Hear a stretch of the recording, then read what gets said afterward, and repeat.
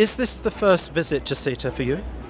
Definitely, it's the first visit uh, to SETA. Um, yeah, the first time I'm here in Bangkok yeah, for the show. And as it's the first day of the show, what, what's your take on SETA 2018? How have you found the show so far? I think uh, it's a very good show. It's a show with a very good potential.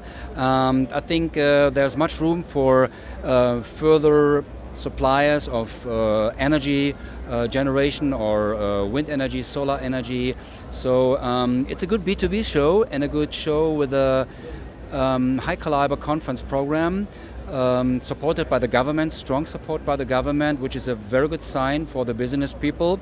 So I invite many business people to come to SETA to talk to the exhibitors and to, to listen what they have to offer in order to improve their business, to reduce their consumption of energy, to reduce uh, the emissions, and to introduce um, efficient forms of new energy.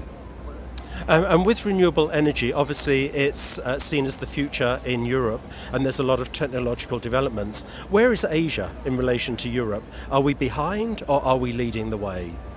I think the resources are there, especially when it comes to solar energy. It's uh, because there's a lot of solar energy, yes. maybe also biofuels, um, because uh, there's a lot of uh, material available in Asian countries. So um, European companies they they have the technology to um, convert, for example, uh, organic material to bioenergy as well. So I would I would recommend also European companies to come to Asia to see what the potential is is here in the market mm. and to talk to for example Thai companies yes. to create joint ventures to create business and so I think it's a very very good opportunity for for international companies to come to Thailand. Thank you so much for talking with us today, and I wish you a successful two days ahead with SETA 2018. Thank you. My pleasure. Thank, Thank you. you.